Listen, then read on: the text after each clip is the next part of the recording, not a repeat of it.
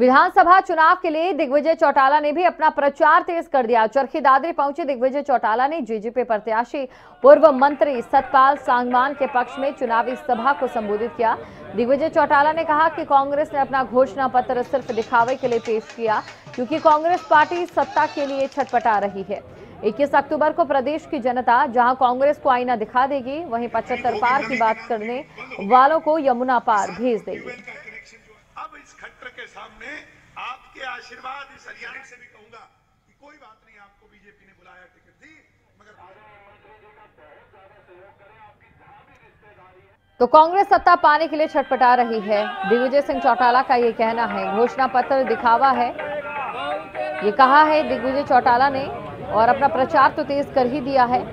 लोगों के बीच जा रहे हैं, जेजेपी को लेकर प्रचार कर रहे हैं। सतपाल सांगवान के पक्ष में ये चुनावी सभा दिग्विजय चौटाला की ओर से की गई थी।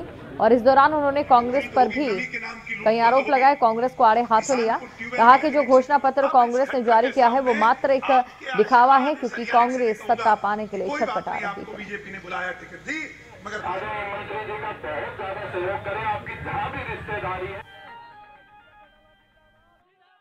मुक्ति देने की बात कर रहे हैं और वो तीन सौ यूनिट अटकी भी है।